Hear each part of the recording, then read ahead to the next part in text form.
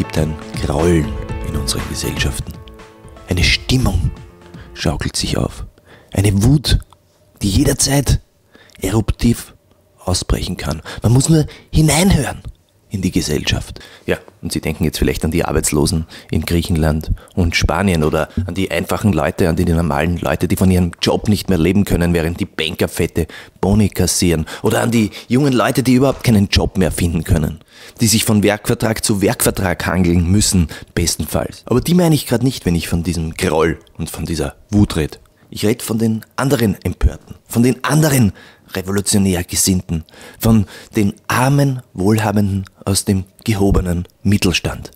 Die sind nämlich mittlerweile richtig empört. Und bevor wir da jetzt in schallendes Gelächter ausbrechen über den Ärger jener, die ohnehin auf die Glücksseite des Lebens gefallen sind, wollen wir uns mal ansehen, was denen so die Stimmung vermisst. Diese Töne werden ja immer lauter in diesen Kreisen, weil die Zentralbanken so viel Geld ins Finanzsystem pumpen und weil sie mit dauerhaft niedrigen Leitzinsen die Konjunktur am Laufen halten. Deswegen sind eben alle Zinsen sehr niedrig. Und das bedeutet, wer ein paar hunderttausend Euro angespart hat, der weiß plötzlich nicht mehr, wie er sein Geld anlegen soll.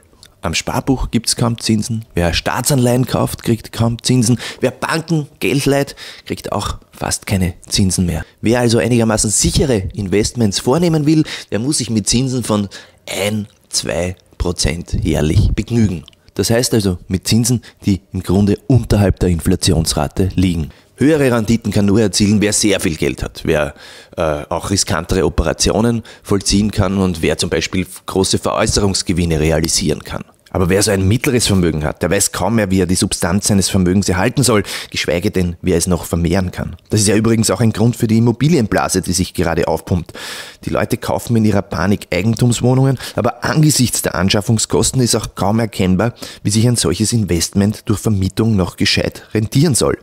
Aufgeregt spricht man in dieser Welt schon vom Anlagenotstand. Ja, googeln Sie mal Anlagenotstand. Das bietet schöne Einblicke in diese Parallelgesellschaft unglücklicher Anleger. Und die Zeit, wo die Zinseinkommen ein schöner, relevanter Einkommensbestandteil waren, na, die ist eh vorbei. Und jetzt denken Sie vielleicht, naja, dann sollen die es doch zur Abwechslung mal mit Arbeit versuchen. Aber sollten Sie da jetzt gerade ein bisschen in Schadenfreude verfallen angesichts der Sorgen der oberen 10.000, muss man natürlich dazu bedenken. Das betrifft nicht nur Leute mit einem Investmentportfolio von ein paar hunderttausend Euro, sondern natürlich auch normale Leute aus der Mittelschicht, die seit Jahren in, beispielsweise in eine Lebensversicherung einzahlen, in der Hoffnung, damit eine schöne Extrapension am Lebensabend zu bekommen oder sonst irgendwas. Dauerhaft niedrige Zinsen zerstören natürlich auch deren Pläne. Und hier baut sich auch ein Zorn auf gegen die Politik der Zentralbanken.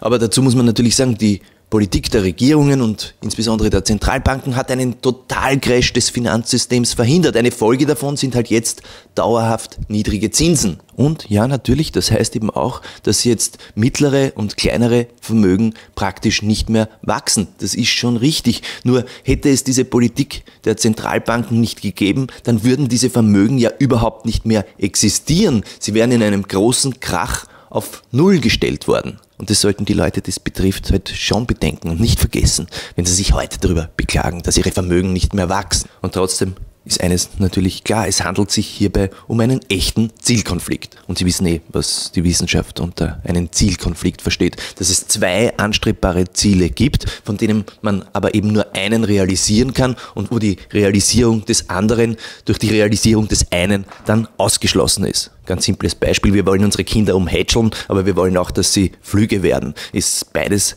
gleichzeitig schwer zu realisieren. Aber in solchen Fällen gibt es wenigstens noch einen intelligenten Mittelweg vielleicht. Aber es gibt durchaus auch Zielkonflikte, wo es diesen intelligenten Mittelweg eben nicht gibt. Und jetzt wieder zurück. Also niedrige Zinsen haben ein paar Vorteile. Erstens, Schulden reduzieren sich quasi von selbst. Zweitens, die Konjunktur wird gestärkt. Drittens, Arbeitseinkommen werden gegenüber Finanzgewinnen wieder, naja, wie soll ich sagen, privilegiert oder sie gewinnen zumindest wieder mehr an Gewicht gegenüber Finanzgewinnen. Gewinnen. Sie haben aber auch ein paar Nachteile. Also erstens leiden die wirklich großen Vermögen deutlich geringer als die mittleren und kleineren Vermögen. Deswegen wird die äh, Ungleichverteilung oder die Ungleichheit nicht automatisch geringer durch niedrige Zinsen. Zweitens können niedrige Zinsen natürlich Anleger auch in riskante Anlagen treiben und auch Blasen aufpumpen. Und drittens erschweren sie auch ganz normalen Leuten, sich nennenswerte Beträge zu ersparen durch Arbeit und ein bisschen was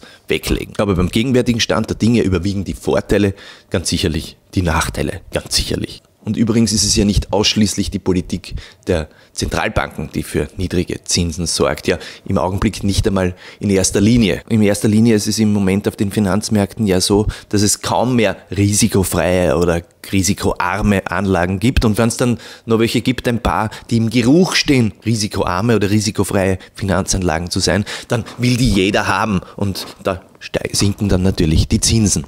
Auf absehbare Zeit kann man deshalb unseren wohlhabenden Freundinnen und Freunden kaum einen anderen Ratschlag geben als den, ihr müsst jetzt sehr tapfer sein. Aber natürlich optimal ist es nicht und gerecht ist es auch nicht immer. Aber mit Gerechtigkeit muss man mir halt auch nicht kommen. Als durchschnittlicher, wohlhabender Finanzanleger. Denn natürlich wäre es gerechter gewesen, die Kosten für die Stabilisierung des Finanzsystems durch Steuern auf die wirklich großen Vermögen zu finanzieren, zumindest teilweise, statt durch die schleichende Weginflationierung von mittleren und kleinen Vermögen. Klar, aber bitte die, die sich jetzt aufregen darüber, dass ihre Ersparnisse jetzt jedes Jahr so ein ganz klein bisschen weniger werden, die habe ich halt meistens auch nicht an der vordersten Front gesehen im Streit für Vermögenssteuern oder Vermögensabgaben der Superreichen. Aber das kann sich ja noch ändern. Aber bis dahin gilt natürlich schon auch ein bisschen selber Schuld, kein Mitleid.